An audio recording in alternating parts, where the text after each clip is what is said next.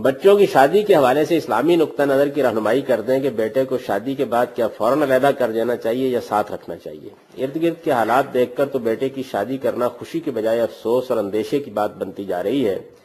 क्योंकि आजकल तो यही देखने में आ रहा है कि बेटा ब्याहते ही आपका बेटा नहीं रहता, बल्कि बीवी का वफादार शोहर बन जाता है।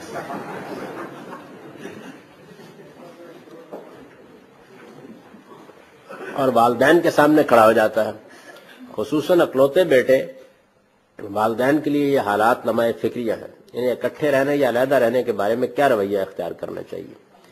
जब आप अपने बेटे को ब्याहते हैं तो ब्याहने से पहले ये समझ लीजिए कि अब एक आज़ाद शख्सियत से आपको सबका पेश आने वाला है। और बीवी का वफादार होना ये खूबी की बात है, खराबी की बात नहीं। उसकी वजह यह है कि आप ब्याह के लाए क्यों हैं? इसीलिए लाए हैं। इसको भी मानने के लिए तैयार हो जाइए। और ये कोशिश कीजिए कि आप पूरा इतमान दिला दें कि आपकी बहू और आपका बेटा अगर अलग होना चाहते हैं तो आपकी तरफ़ से अदना दर्जे की भी कोई रुकावट नहीं। इसलिए कि ये उनका अखलाकी हक है, ये उनका कानूनी हक है, ये उनका शरई हक है। इसमें कोई हर्ज की बात नहीं। जब आप इस मुकाम पर खड़े हो जाएँगे तो मैं आपको इतमान दिलाता हूँ कि नब्बे फ़ीसद बच्चे अलग नहीं होंगे। असल में हम जो सूरत हाल पैदा कर देते हैं उसके बाद रद्दमल शुरू हो जाता है। आप आज़ादी दीजिए, उनको फैसला करने दीजिए अपना। यानी मौका दीजिए इस बात का कि उनके लिए कोई रुकावट नहीं है। वो जब चाहे अपने आप को अलग कर लें। असल में जो ज़िम्मेदारी अल्लाह ताला ने उन पर डाली है, वो तो ये डाली है कि वो आपकी खिदमत करें। और वालदेन की हैसियत से आपको इज़्ज़त और एहतराम दें। बाकी जितनी चीज़ें हम उन पर मुसलत करने की कोशिश करते हैं, उससे रद्दमल पैदा होना शुरू हो जाता है। एक बच्ची को आप लाए हैं और जरा अपने ऊपर निगाह डालनी चाहिए। माँ जरा अपनी ज़िंदगी देख ले, माजी की। हर औरत की यह ख्वाहिश होती है कि उसका कोई इंडिपेंडेंट कमरा हो, कोई घर हो, कोई उसका किचन हो, वो आज़ादी के साथ मामला कर सके, अपने शौहर के पास बैठ सके। ये उसकी फितरी ख्वाहिशात है। आप इनमें रुकावट ना बनी। इसके लिए रास्ता खोल दीजिए। अपनी तरफ़ से कोई रुकावट पैदा ना करें।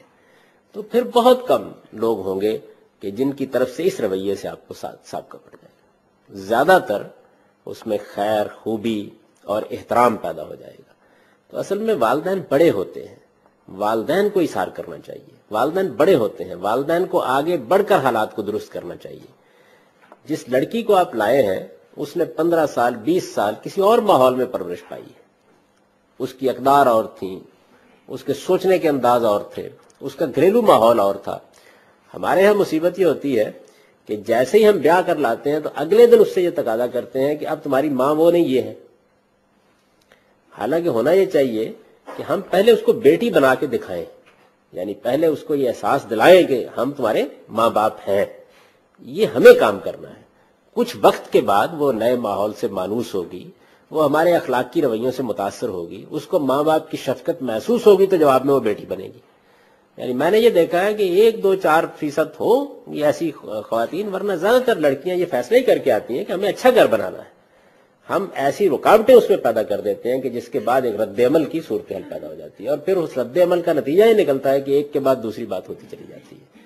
तो आज़ादी के साथ अपने मामला करने का हक उनको खुदा ने दिया है। आप ये हक दे दीजिए। और अगर आपका अभी ये हक देने का इरादा नहीं है तो शादी ना कीजिए। यानी मैं ये किस तरह बच्चों को तलकीन करूँ कि देखो तुम लड़की ब्याह के ले आओ, लेकिन वफादार शोहर न बनना। आप उन्हें वफादार शौहर बनने दीजिए, अपनी बीवी का ख्याल रखने दीजिए, उसको इज़्ज़त देने दीजिए, उसके हुकूक को पूरा करने दीजिए और इसके लिए खुद आगे बढ़कर कहिए कि ये सब काम तुम करो, कोई फ़र्क नहीं पड़ता इससे। जब आप ये काम करेंगे तो इसके बाद मैं आपसे अर्ज़ करता हूँ कि एक बड़ी अक्सरियत जो है, इंसान के अंदर अल्लाह ताला ने बड़ा खूबसूरत इंसान रखा हुआ है। वो फ़ौरन नमदार हो जाएगा। हम उसको पहले ही मरहले में खराब कर देते हैं। और जब खराब कर बैठते हैं तो फिर उसको ठीक करना आसान नहीं